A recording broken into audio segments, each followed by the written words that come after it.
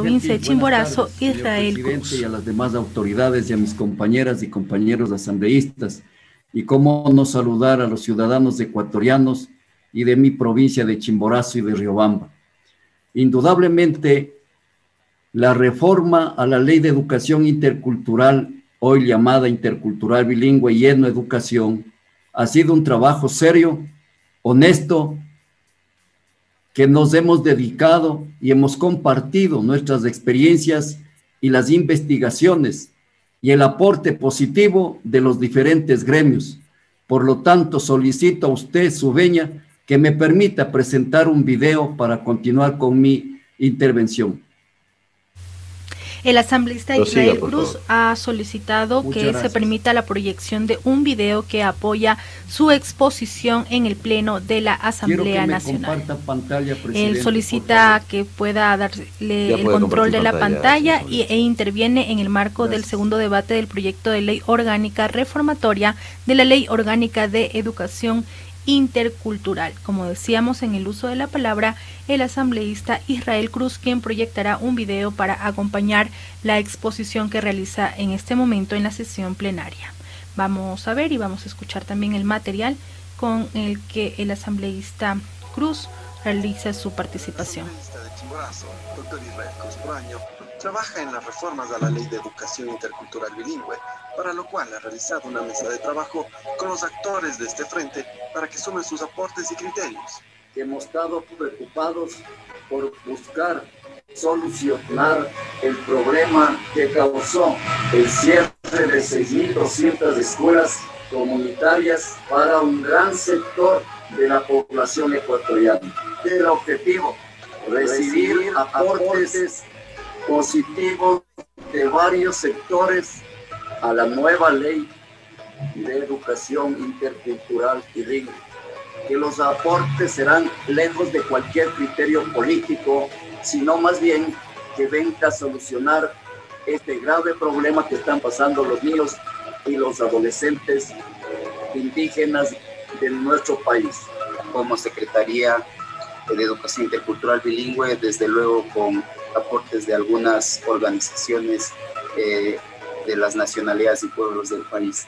Desarrollar, fortalecer y potenciar el sistema de educación intercultural bilingüe con criterio de calidad desde la estimulación temprana hasta el nivel superior. En el artículo 77 consideramos que se debe reformar y que haya la Subsecretaría de Educación Intercultural Bilingüe de una manera descentralizada y desconcentrada. De la educación que debe ser manejado desde las comunidades con un derecho propio.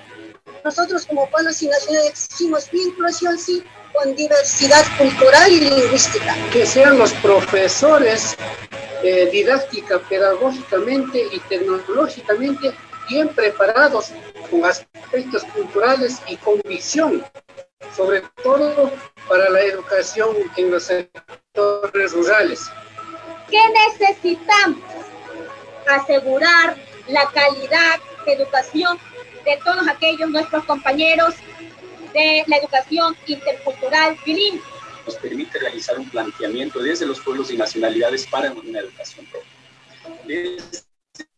el nivel técnico, desde el nivel pedagógico, desde el nivel epistemológico y también filosófico. La diversidad y la soberanía epistémica y cognitiva de los pueblos y nacionalidades. Es necesario la reapertura de tantas escuelitas del sector rural que han sido cerradas, pero para que se reabran, el Estado debe dar la posibilidad de la tecnología como lo existe en el sector urbano. Sobre la salud y nutrición, tenemos que tener niños bien alimentados, bien nutridos, prevalecer la soberanía alimentaria local, agregarse la creación de, transporte estudiantil gratuito. Incluir la corresponsabilidad en el mantenimiento de las unidades educativas a nivel rural a la comunidad. La propia cultura de la gente, de las comunidades, hace que sean parte de las decisiones de la educación de sus hijos. Entonces no puede haber esta instancia que es la comunidad, el cabildo, siendo parte del proceso educativo.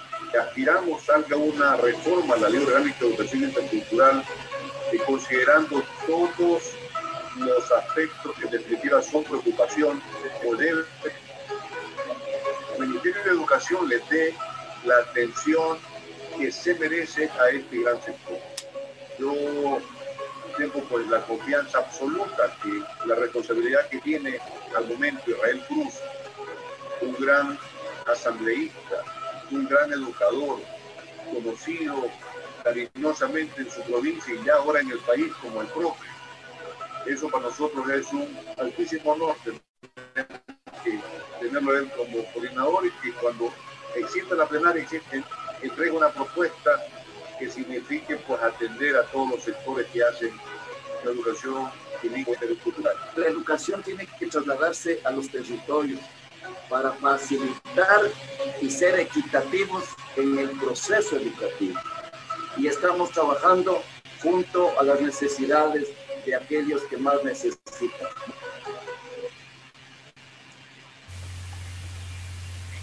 Culmina así la proyección de este video que ha hecho referencia sobre todo al trabajo realizado alrededor de la discusión de los centros educativos comunitarios. Este Continúa la asambleísta Cruz en el uso de la palabra. actores y el sector necesitado, hemos presentado el proyecto de la creación de la Secretaría Intercultural Bilingüe y Etnoeducación.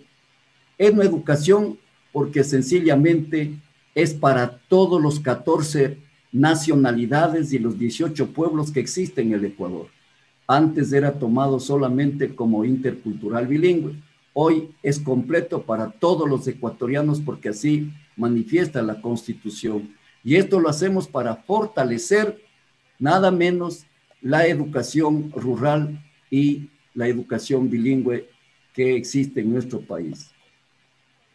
La Secretaría de Educación Intercultural Bilingüe y en Educación desconcentrada, sí, para tener más eficiencia y eficacia, con una autonomía financiera, autonomía administrativa, pedagógica y autonomía técnica y tecnológica. Luego tenemos de que la Secretaría de Educación Intercultural Bilingüe y en Educación estará bajo el Sistema Nacional de Educación de nuestro país. Esto quiere decir que la cabeza principal será el ministro de Educación para con carácter plurinacional, intercultural, multiétnico y con un carácter plurilingüe.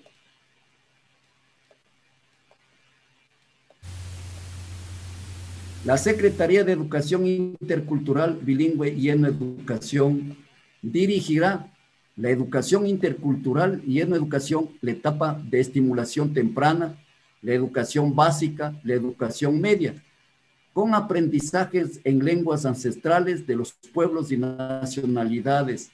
Y los estudiantes, después de la educación media, están listos para acceder a la educación superior con sentido de pertenencia cultural y lingüística.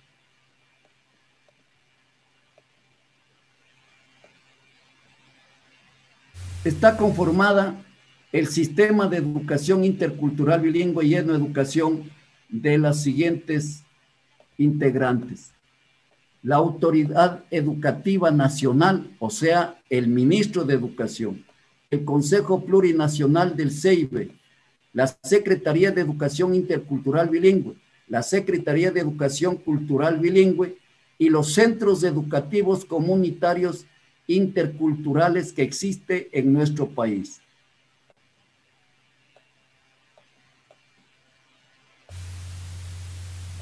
Continuando con nuestra exposición, la estructura y conformación del Consejo Plurinacional de Educación Intercultural Bilingüe y en Educación, debemos indicar que está conformado de las siguientes personas y organizaciones un delegado del Sistema Nacional de Educación, el secretario o la secretaria de Educación Intercultural Bilingüe, la autoridad del Sistema Nacional de Planificación, la representante de los pueblos y nacionalidades indígenas, el representante o representante del pueblo afroecuatoriano y el representante del pueblo montubio que existe en Manabí y en Santa Elena.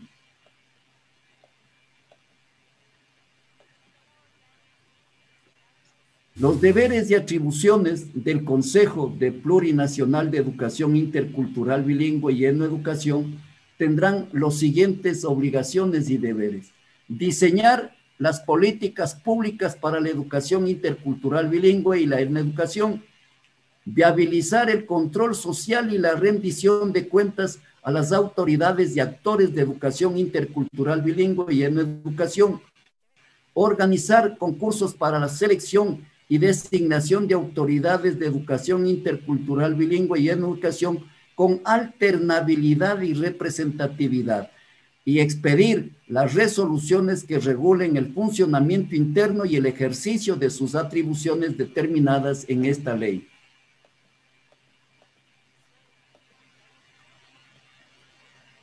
Luego tenemos las consideraciones o atribuciones de la Secretaría de Educación Intercultural Bilingüe y en Educación.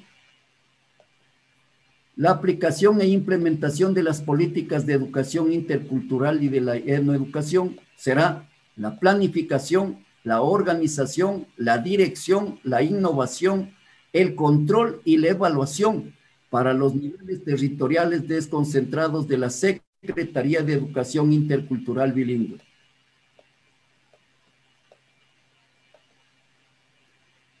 Currículum intercultural bilingüe y en educación. Fomentará la soberanía epistémica a través del fortalecimiento de las identidades culturales, respetando las lenguas ancestrales, idiomas, dialectos, propios de cada pueblo y nacionalidad.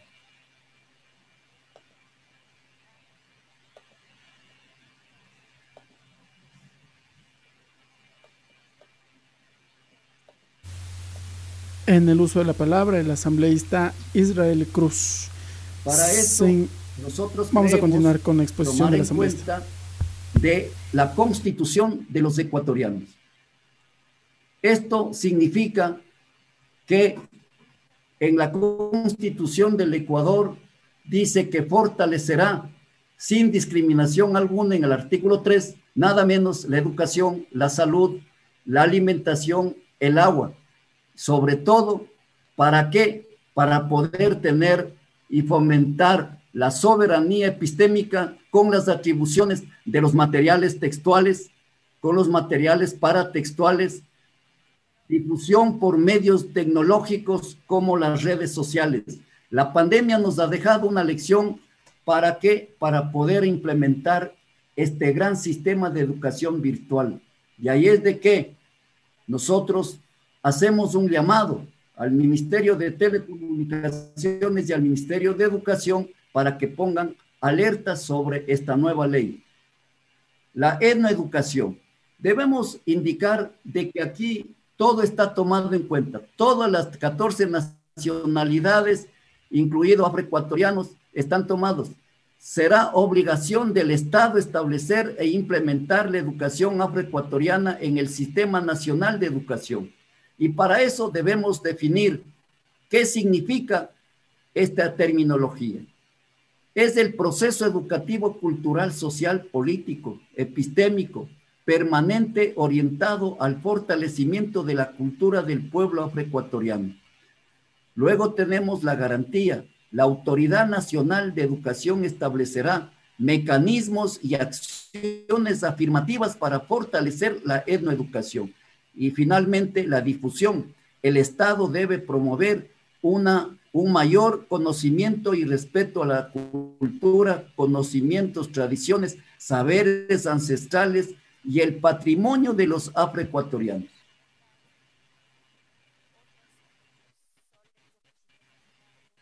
Conclusiones.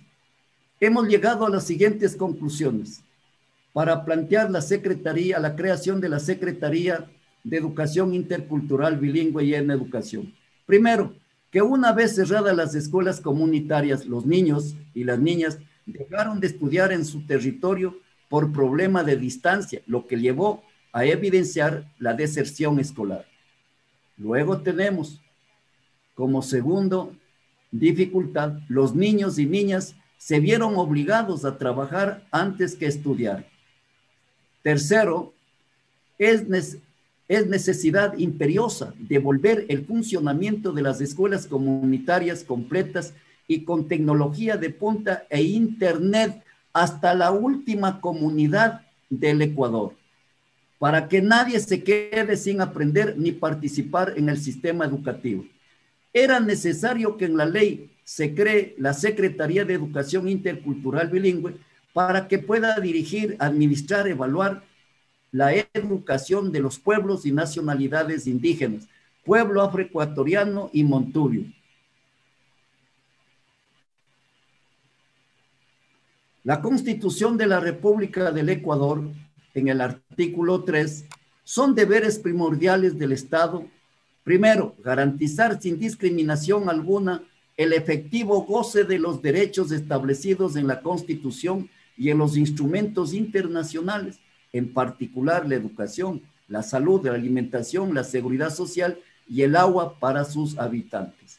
Asimismo, podemos nosotros mirar que en el artículo 26 del mismo texto constitucional, la educación es un derecho de las personas a lo largo de su vida y un deber inaludible e inexcusable del Estado. Constituye un área prioritaria de la política pública y de la inversión estatal garantía de la igualdad e inclusión social y condición indispensable para el buen vivir. Las personas, las familias y la sociedad tienen el derecho y la responsabilidad de participar en el proceso educativo. Y finalmente, en el artículo 27 de la Constitución, la educación se centrará en el ser humano y garantizará su desarrollo holístico, en el marco del respeto a los derechos humanos, al medio ambiente sustentable y a la democracia. Será participativa, obligatoria, intercultural, democrático, incluyente y diversa, de calidad y calidez. Impulsará la equidad de género, la justicia, la solidaridad y la paz. Estimulará el sentido crítico, el arte y la cultura física, la iniciativa individual y comunitaria y el desarrollo de competencias y capacidades para crear y trabajar la educación es indispensable para el conocimiento, el ejercicio de los derechos y la construcción de un país soberano y que construye un eje estratégico para el desarrollo nacional. Por lo tanto, señor presidente y señores asambleístas, debo manifestar de que no habrá otra mejor reforma que la que hemos realizado.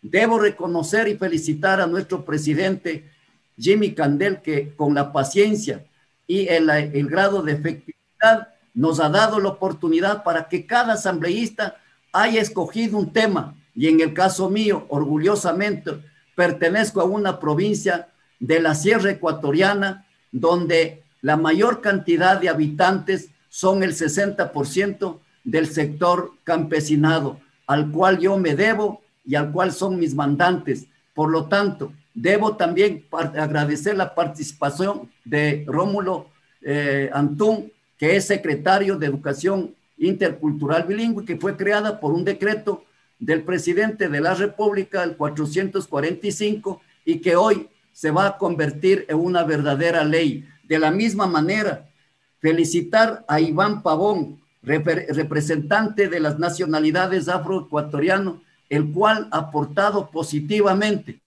Y cómo no felicitar a Araceli Puetate, que es el representante nada menos de los profesores comunitarios, al cual nosotros tenemos que dar todo el respaldo porque hay un deber y hay un derecho, que es el derecho de la seguridad social. Por lo tanto, señor presidente, dejo claro que mi intención será siempre aportar positivamente nada menos en el sistema de educación intercultural bilingüe. Que viva la Comisión de Educación y que vive el país. Muchas gracias, muy gentil. Buenas tardes.